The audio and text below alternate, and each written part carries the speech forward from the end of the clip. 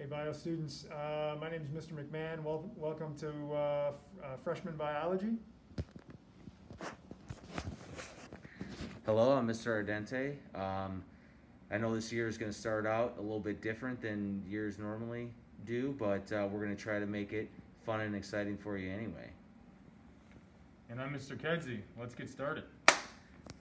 Okay, so you guys picked up your biology live specimen bags, and we are going to have all of you guys set up your specimens. So what we're going to do today is we're going to demo how you will set up your specimens. Uh, Mr. Kedzie will be reading directions as I demo what you guys are going to do. All right, first step, you gotta open your bag and pull out the directions so you could read through as you're working on it. Duckweed lab setup, right. Number one, you're gonna open your petri dish. We have a petri dish in there, Mr. McMahon? Is. Top and bottom. Now at home, you're gonna use a teaspoon to measure three teaspoons of filtered water, that's from a bottle of water, and pour it into the bottom of your petri dish. The bottom's the taller one. Okay, so we don't have a teaspoon here, but at home you'd measure that.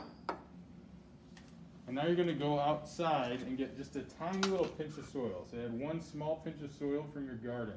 This should be a very small amount. There's a little sprinkle from Mr. McMahon's garden there. And now we're gonna let this sit for one minute. All right, so we're back. We let that sit for a minute, kind of diffused out a little bit, the, uh, the soil that we put in there for the backyard. And now we're, open your microtubule, which is that, and add your duckweed into the petri dish. Okay, so the duckweed is what's in there. You're gonna have to shake it in. You may not get it all in there, but get as much in there as you can. Okay, you should have about ten separate duckweed plants that will settle on the surface of the water in your petri dish. You might have more. Now you're gonna take a picture of your setup using your iPad. Mr. McMahon's gonna figure out his iPad here, take a picture. Okay, the next step is to count the total number of fronds, which look like green leaves. Each leaf counts as one frond. You will add this number of fronds to a spreadsheet shared by your teacher during one of the first lessons.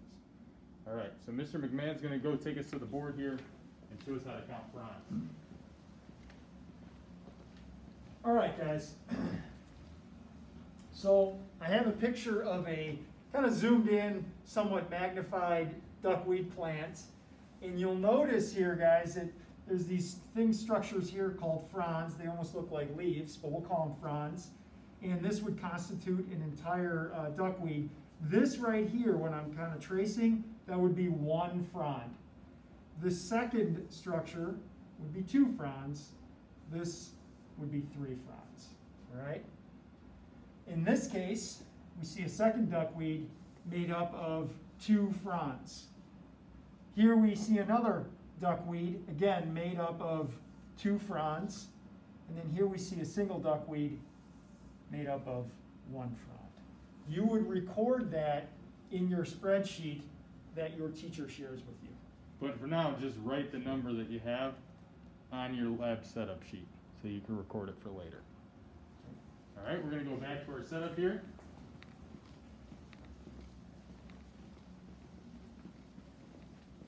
Mr. McMahon, how many fronds do you have on Facebook? well done. Okay, now we're gonna cover your petri dish with the lid. This is the thinner of the two halves. Place it in a well-lit area of the house, like a windowsill or table for direct sunlight.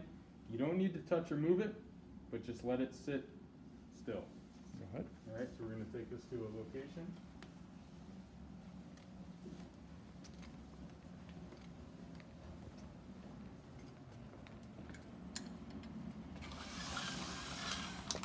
Congratulations, you've now successfully completed the setup of the duckweed experiment. Your teacher will be getting back to you with some further instructions as we move forward with this lesson. Good luck, guys. Good luck.